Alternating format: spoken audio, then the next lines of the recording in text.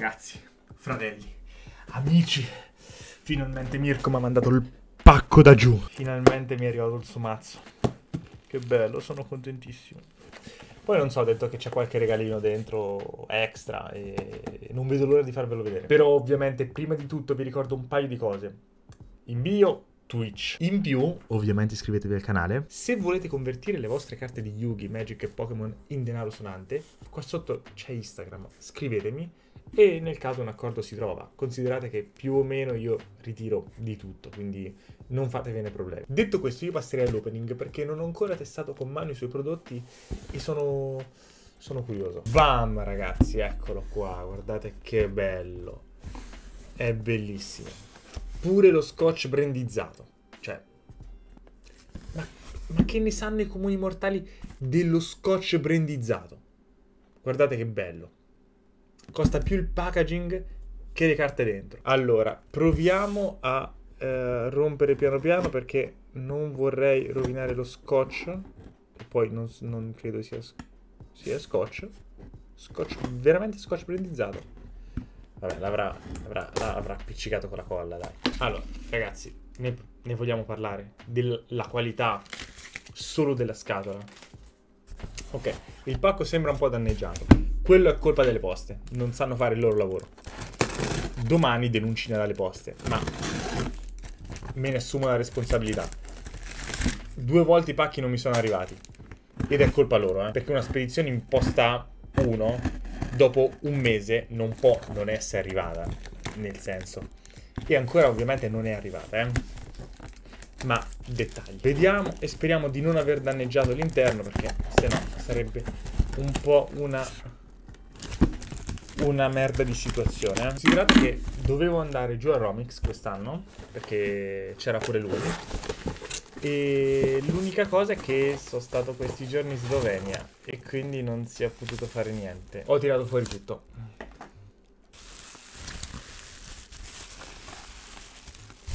Abbiamo qua una spilletta. Bellina questa. Di Obelisk. È in qualità altissima, non come quelle che vi vendono alle fiere, dove l'immagine più a fuoco è in 240. Questo è un lavoro fatto bene. Poi andiamo a vedere. Ah, Abbiamo. Me l'ha inviata veramente. È bellissima. È... L'ho vista e vi giuro che me ne sono innamorato. È bellissima. Ah, forse ho capito qual è quell'altra. Ragazzi, è incredibile. È bellissima. La più grande collaborazione di Yu-Gi-Oh! Mirko e Yu-Gi-Oh! Malavita. Incredibile. Sì, sì, sì, guarda. Considerate che questa l'ha realizzata per la morte di Kazuki Takashi. E... Cioè, gli ho chiesto proprio di mandarmela e lui già me l'aveva mandata, ma va bene. Un fratello. E... È incredibile. È un tributo veramente bello. Allora, andiamo un attimo a leggere la descrizione. Ha donato infinite gioie a milioni di persone nel mondo. Con la sua creatività, la sua arte, la sua voglia di raccontare storie e le proprie passioni attraverso i suoi manga, ha dato vita ad uno dei giochi più belli di sempre. Ora ha consacrato il suo nome alla leggenda e noi porteremo avanti la sua eredità con amore e profondo rispetto. Grazie di tutto. Devo ammettere di essermi un po' commosso pochino. Puoi pagare metà dei tuoi life points per evocare specialmente questa carta. Quando questa carta viene evocata, manda tutte le carte controllate dal tuo avversario nella sua mano e nel suo deck al cimitero. Il tuo avversario non può attivare carte ed effetti risposta all'attivazione di questo effetto. Perfetto, vedo che sei nello spirito giusto del gioco, eh? Allora, ma comunque vediamo anche come sono fatte queste orica. Allora, i dettagli sono incredibili. Cioè, il, dal logo che sembra quello ufficiale Konami, la scritta Mirko qua su. Vabbè, oggettivamente credo siano le migliori Orica che voi potreste trovare in circolazione, sotto tutti i punti di vista. Diciamo, io in primis non sono fan di questo tipo di olografia. Lo dico subito, perché ovviamente mi ricordano le vecchie carte tarocche. Non ci posso fare niente, mi dispiace. E forse la normale è un po' troppo chiara a livello di colore, però a parte questo, che vabbè ragazze, so inezie, le fa a casa. Cioè queste cose non, non, non, puoi considerarle se vengono fatte in casa. A parte questo, gli artwork sono incredibili perché comunque, ragazzi, li disegna lui. Li disegna lui. Sono incredibili. Ragazzi, se queste carte fossero stampate come ovviamente le carte ufficiali, quelle vere, che noi tutti usiamo, sarebbero incredibili.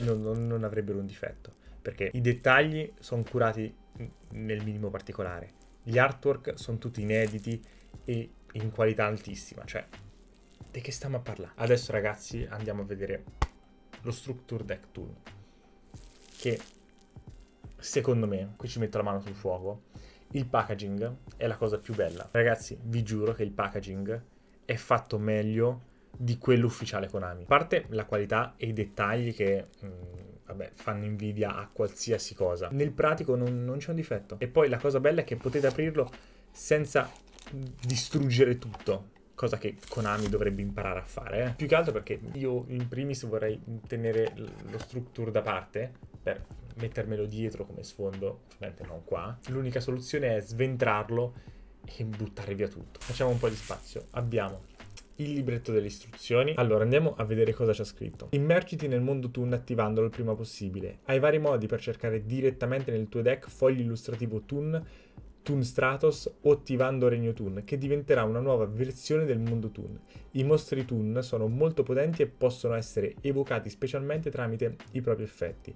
Quando hai tre mostri sul terreno, sacrificali per evocare specialmente il mostro più forte del mazzo. Obelisk il tormentatore Toon. Con polimerizzazione Toon puoi Ecovare? Ecovare?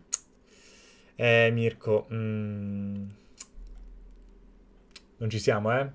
I tuoi potentissimi mostri fusione. Vabbè, diciamo che gliela facciamo passare perché comunque qualitativamente è, è incredibile. Cioè, la carta per uh, gli structure è la stessa, anzi, è più spessa rispetto a quella di Konami, eh? Cioè, non per niente lui collabora con Konami, eh? Vabbè, adesso andiamo a vedere le carte e capiamo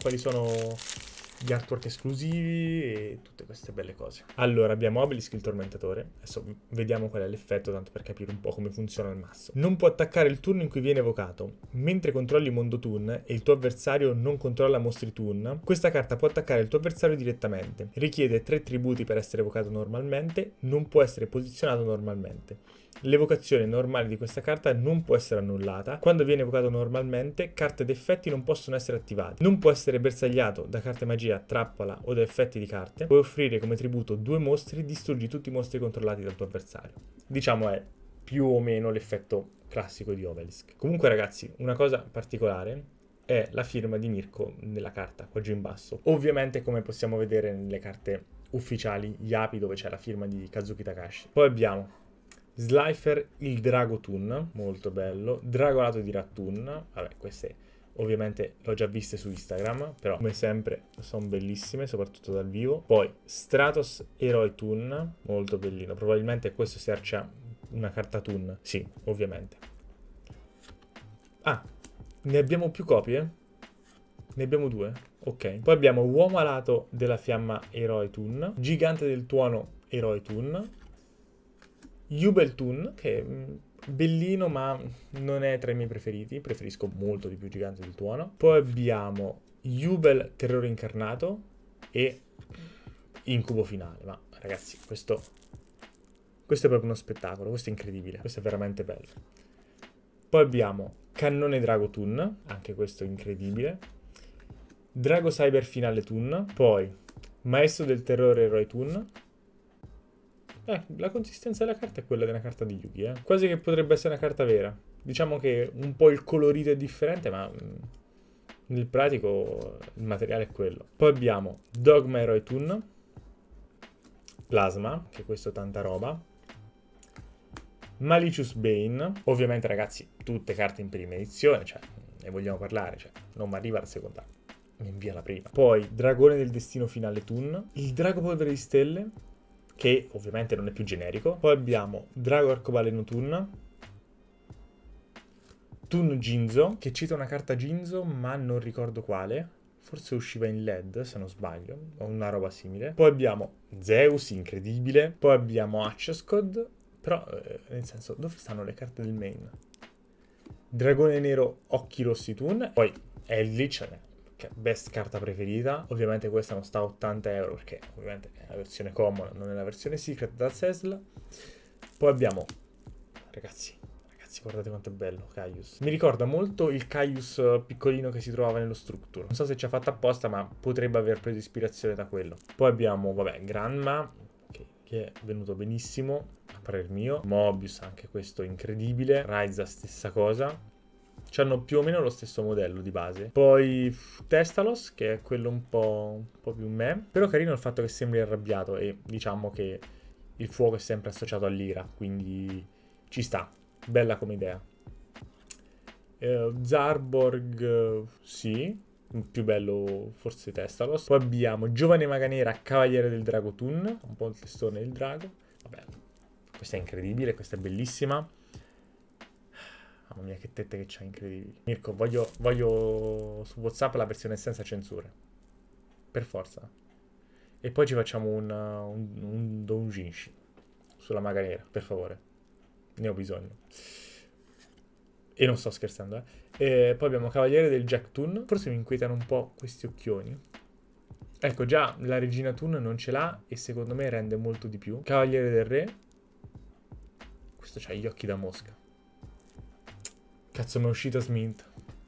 Porca troia. Tocca trovare un altro e sostituirlo. Poi abbiamo Kaiser, la bestia Toon. Poi abbiamo, vabbè, eh, Dark Law, che io sono innamorato di questa carta. Poi abbiamo Mondo Toon, che, vabbè, secondo me è la carta che gli è fondamentalmente riuscita meglio. O almeno tra le migliori.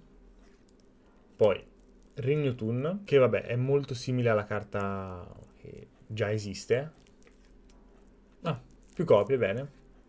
Ne abbiamo tre. Poi abbiamo foglio illustrativo Toon. Ne voglio tre almeno. Mi sembra necessaria. Avidità Toon. Scarta una carta Toon, pesca due carte. Follia. Anche questa, secondo me, è spettacolare, però non capisco... Ah, ok.